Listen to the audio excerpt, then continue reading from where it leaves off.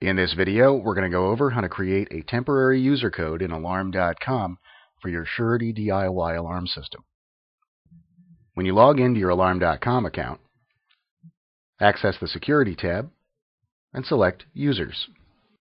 Here you'll be able to see a list of the users currently added to your Alarm.com account. Click the Actions button and select Temporary User Code. Under the Temporary User screen, you'll want to name the user. You can add contact information if you wish for this individual to receive notifications from your system, or you can leave that section blank. You'll select the start and end times for the access period. In our example case, we're going to have a contractor working on our home for a two-week period. Finally, select which devices the created code will have access to, and choose the four-digit code for this individual. When you're done, click Save. The new system user will be added to the list, and instead of the standard check mark, you'll see a calendar icon next to the devices to which they have access. This has been Jason with Surety DIY. Thanks for watching.